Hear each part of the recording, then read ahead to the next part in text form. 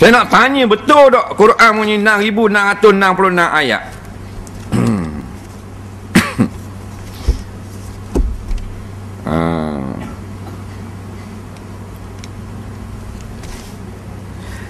Ah, yang masyhurnya 6666 ayat tu yang masyhurnya.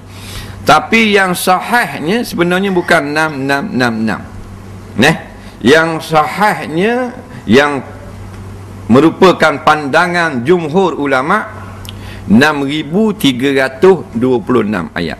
Neh, 6326 ayat.